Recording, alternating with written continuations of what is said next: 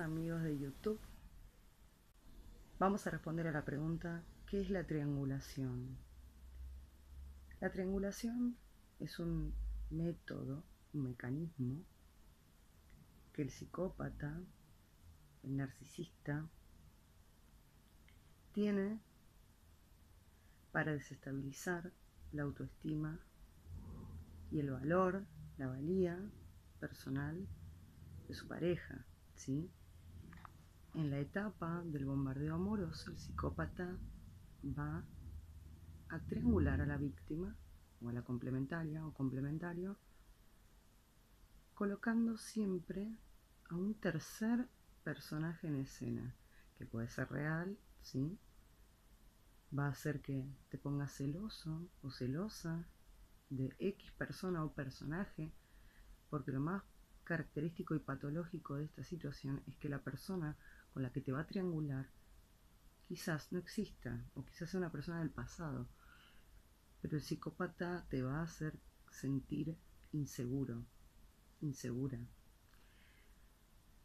El objetivo de la triangulación es que vos compitas, que vos estés en permanente tensión para igualar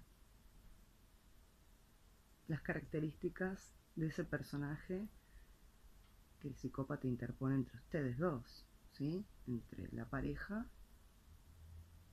el psicópata, y el complementario y la complementaria.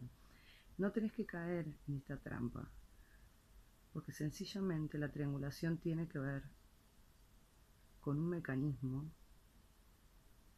que el psicópata va a usar, repito, para desestabilizarte, para lancinar tu autoestima, para dominarte. Y al principio de la relación, en el bombardeo amoroso, te va a nombrar a esa persona, te va a contar lo bueno que era, lo buena que era.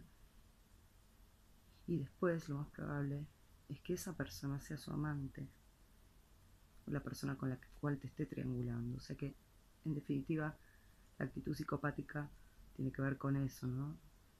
Recién te conozco, juego el papel de novio o novia amorosa o amoroso y luego te muestro con quién te voy a triangular, con quién te voy a engañar. Entonces la víctima está en una constante, constante búsqueda de sobrepasar la característica o las características colosales que tiene esa otra o ese otro con el cual el psicópata te triangula.